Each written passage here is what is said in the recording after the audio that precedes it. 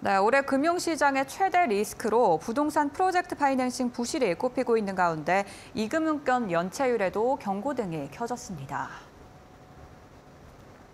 특히 증권사의 연체율은 8%대에 달하며 부동산 PF 부실이 금융권으로 확산할 수 있다는 우려가 나옵니다.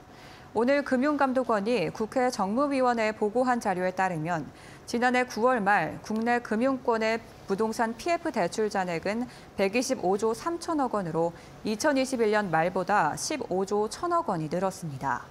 부동산 PF 대출 규모가 급증한 가운데 연체율도 급등세입니다.